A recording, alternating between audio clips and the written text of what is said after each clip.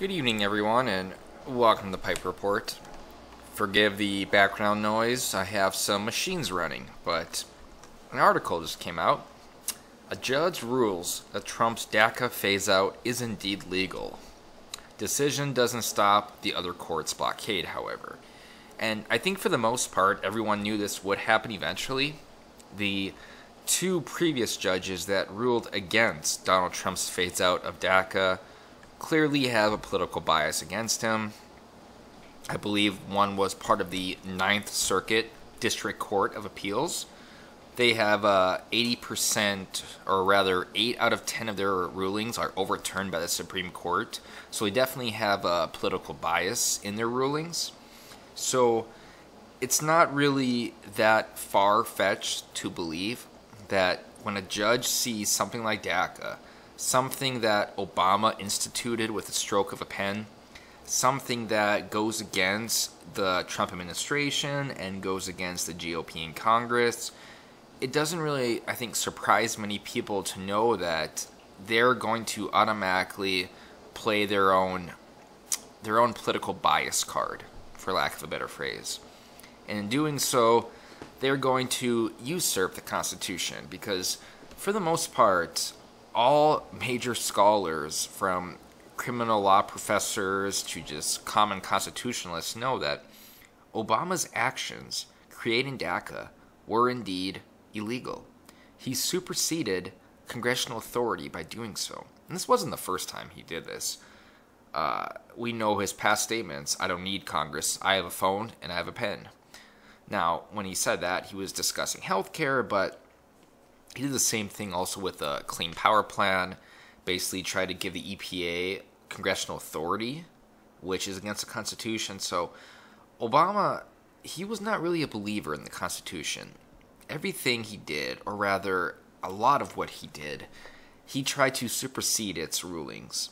He tried to ba- basically be the dictator in chief. I think that is what they, um, that is what the slogans that's what people said in terms of slogans. But and it's funny when they try to compare Trump to Obama, calling Trump like a dictator, Trump a fascist. And it's like, well, if you actually compare them based on the way they work with Congress, as opposed to doing things unilaterally, that is, doing things by themselves, Obama is far, far ahead of Trump in terms of authoritarian rule. So yeah, but here's the article. Short article. A federal judge ruled Monday that Trump's phase out of the Obama era DACA program is legal, adding heft to the administration's defense, but doing little to solve the ongoing court quagmire. The ruling does not overturn two other federal courts, who had previously blocked the phase out, which was supposed to take effect Monday, but it does offer a needed boost as the DOJ appeals those other two rulings. Judge Roger Titus, a Bush appointee to the bench in Maryland, said the judges in California and New York, typical, who blocked the phase out attempted to substitute their own judgments for that of the Homeland Security Department, crossing constitutional lines in order to strike at Mr. Trump's policies. And this is not the first time we've seen judges try to determine, or rather, trying to substantiate their rulings by seeing this person was thinking this when he made that order. Example I can give is the whole temporary restriction on immigration into the country from certain specific countries. They basically said it was Trump's intention, although the the order itself did not clarify this, it was Trump's hidden intention to not let any Muslims in the country, and therefore it is unconstitutional. They use that based on Trump's past rhetoric during the campaign and also based on rhetoric that Rudy Giuliani said during the campaign. Rudy Giuliani, somebody who was not even a member of the Trump administration, the some federal judges were using what Giuliani thought and saying that is what the intention of Trump's executive order was.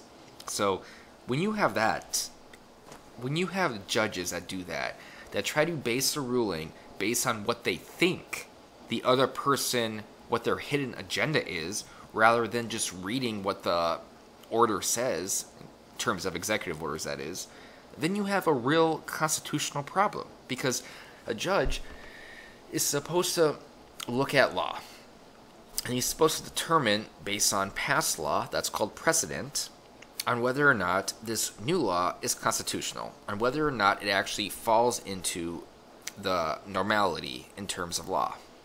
And when they try to add certain externalities to their rulings, well, he, I, I mean, so the law doesn't say this, but I think his hidden agenda is actually this.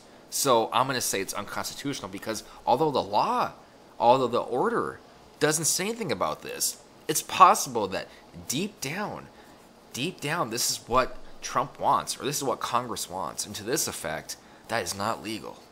I mean, it's that type of mentality that completely contradicts everything this country is founded upon. This country is a nation of laws. And when these activist judges in the federal appeals court system, when they try to impose their own personal biases against those they don't like in offices, and in turn make rulings that are just questionable at best, but to be honest, they're pretty much just targeting those who don't, they don't like, then we have a real problem. Then we have a real abuse of authority. That means that the judicial branch, for the three branches of government, the judicial branch, the executive branch, and the legislative branch, we know that the, that the judicial branch is super is usurping their position. They're trying to become the dominant branch of the country. And that is against everything in the Constitution, and that is against everything that the founders believed in. So it's sad when we see these activist judges continuing this type of mentality, continuing this behavior that they know the hidden thoughts of someone, so much so that they can guarantee that they can make a ruling based on fact that that person, although didn't write this down in the order, that didn't make a law about this, but he has these hidden thoughts, and those hidden thoughts are enough to make a ruling against him. That's a real, real problem to have, and that's what we're having in the country at the moment. So let's move on though. Judge Titus went even further, praising the Trump administration for the way it handled the situation with a six month phase out. This decision took control of all pell mell situation and provided Congress, the branch of government charged with determining immigration policy, an opportunity to remedy it. Given the reasonable belief that DACA was unlawful, the decision to wind down DACA in an orderly manner was rational, the judge wrote. And I think the judge made it clear on the second sentence the branch of government charged with determining immigration policy. That is Congress. That is Congress. That is why Obama's action of DACA was unconstitutional, because he did it himself. Now, the president can determine who is allowed into the country based on national security.